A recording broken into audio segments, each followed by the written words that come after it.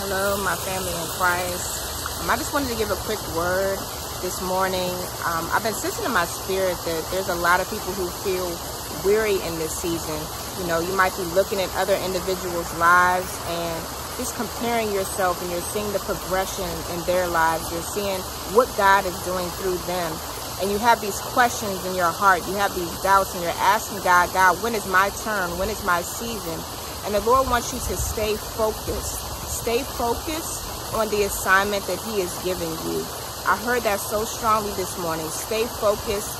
Trust the process. Be willing and you will see the fruits. You will see the rewards that God has promised you.